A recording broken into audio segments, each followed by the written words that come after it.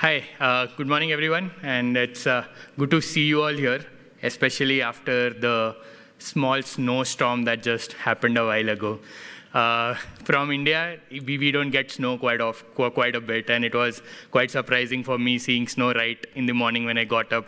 I had to rush into the venue, and I had my good dose of cardio early in the morning, so I'm all pumped up uh, for the talk. So yeah, uh, a quick short talk where uh, you know I would be talking about how I learned how to build courses, uh, and hence the title "Mastering Myself Before Mastering Kyverno." A quick introduction about me: I am Atulpriya Sharma, and I am from Hyderabad, India. I work as a senior developer advocate at InfraCloud Technologies. I'm also a CNCF ambassador and the co-chair for the platforms working group.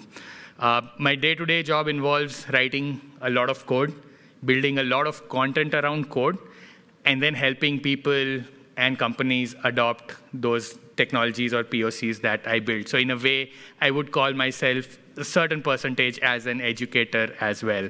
Uh, outside of work, I am a big-time foodie and a travel blogger. So when I'm not working or doing anything related to my work, you can find me at a restaurant or a cafe trying out something new.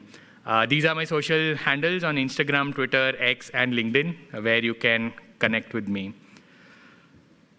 Uh, so this was the course that me and my colleague Sonali were a part of, uh, Mastering Kubernetes Security with Kyverno. Uh, it's available on the LF website. And we did this about a year ago. It's been, I guess, close to a year since we built this course. And it was the first time for both of us. Uh, sadly, she couldn't be here, but then I'm here to share our combined journey and learning experiences of the course. So I'll go back a little in time. And here is a picture of where it all started. Uh, this is a Facebook memory from 25th February 2014, uh, and it's when I was in the final year of my college. And what you see here is me sitting in the middle with all my friends around me. And it was just a couple of hours before entering the examination hall. And it was a ritual for us. So anytime before exam, a lot of my friends used to gather around me, and we would do a quick revision of whatever the subject is. If it's a database exam, we all would sit together and we'll have our notes, what are the you know, uh, various principles, RDBMS, NoSQL, etc., and we would discuss that. So I've been in such space for ages now, right from school to college, where I was helping friends uh, and all of us, you know, study right before the exam and get into the, uh, you know, exam hall with some essential notes. So that's how it all started. Uh, and then I got into software engineering. I was a developer for most part of my career. Uh, I moved into developer advocacy for about three years now.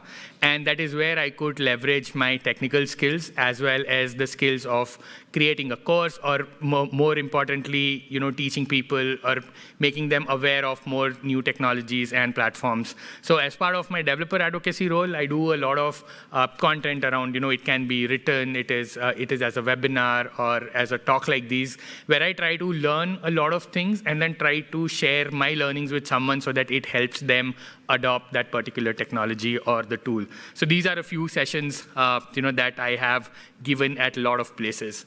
So my journey into course creation was started by teaching my friends back in school and college, uh, followed my, my role of developer advocacy where uh, my skills of my technical skills as well as my ability to help my friends ace their exams. That helped me. And then eventually that led me to becoming a course creator. Uh, so when this course came in, it was obviously a great opportunity, but then a lot of questions were in my head. And I'm sure if, if any of you in this hall get such an opportunity, you would have these questions as well. So, you know, first and foremost, you'll be like, hey, where do I start? My head has a lot of ideas, but I cannot organize them. You know, I'm sure this is something that a lot of you would relate to.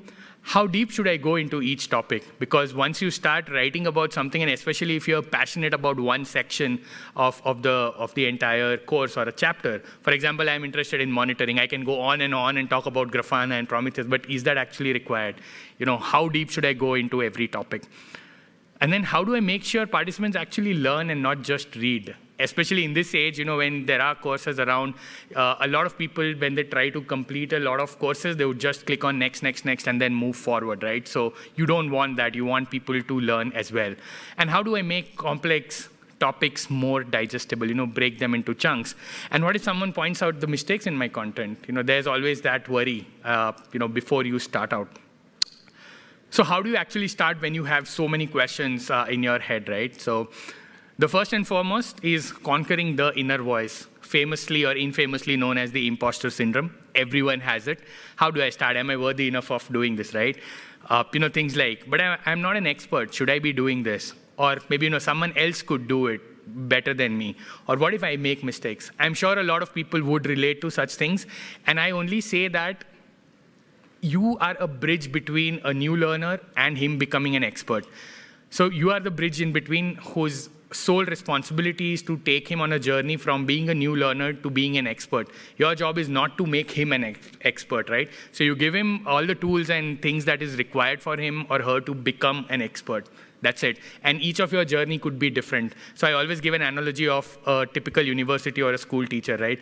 Uh, when a professor is teaching maths, there would be five or 10 different professors. And then, you know, every professor has a different style of teaching. So everyone is unique, everyone has their own style. And then you obviously start with the foundation. Uh, you know, always start with the end in mind. You assume, uh, you, you, figure out what should be the end goal of the course, what the people or the learners who would be part of the course, what they would want from the course. So start with the end, map the journey of the, the learner. You know, how do you want them to start? Uh, prepare a maze, start with you know, basic concepts and then taking them to advanced levels. And with that, you create a detailed outline. Only when you have a detailed outline, that is when you will be able to stick to it and ensure that whatever the things are required, they are part of it. Once you have the outline in place, you start with the basics, of course. Uh, so you find out all the co concepts that are required. You know, in case of Kyverno, it was about rules, it was about policy engines, the type of rules that are required, and then obviously, you know, advanced topics like how do I do it at a multi-tenant level, or how do I add monitoring to it.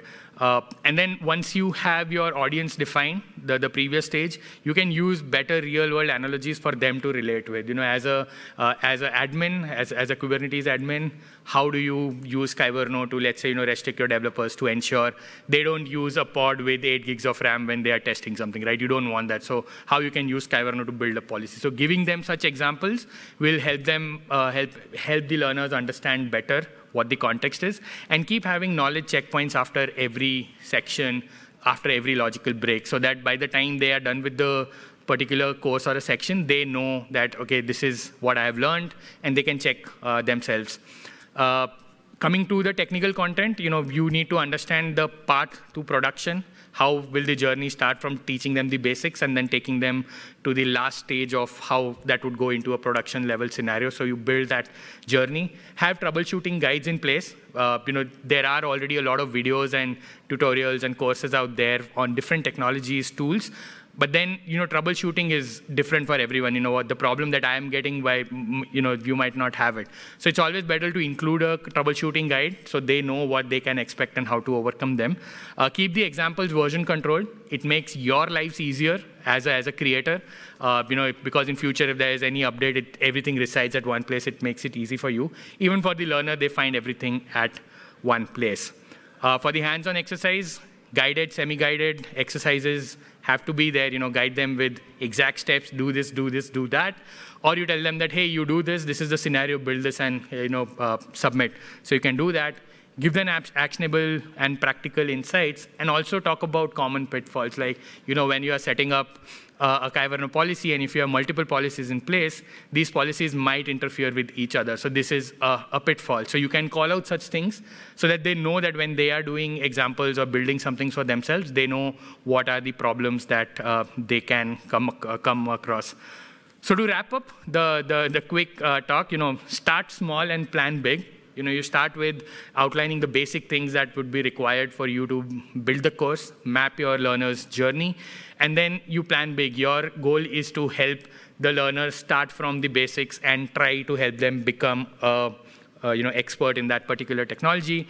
Follow the 30, 40, 20 rule. So 30% of the time you spend researching about the topic or the tool that you're doing, which includes your hands-on, you know, learning about it, trying it on different scenarios, different setups. So you spend time on that.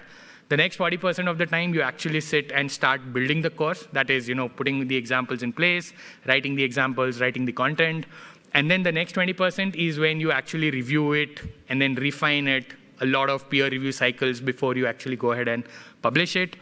Uh, document everything that you do across your entire journey, irrespective of whether, whether it was a success or a failure.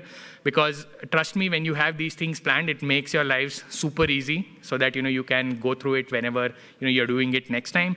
And then lastly, you know you follow the research, record, review, refine, release cycles. So you research it, record what you have learned, review what you have created, refine based on the feedback that you get, and then release the course in the wild. So with that, uh, I'm done with my 10 minutes. These are my social handles where you can connect with me. And uh, though this was just my first course, I'm looking forward to doing something more uh, exciting as part of my role as well. So thank you so much for listening to me. Thank you.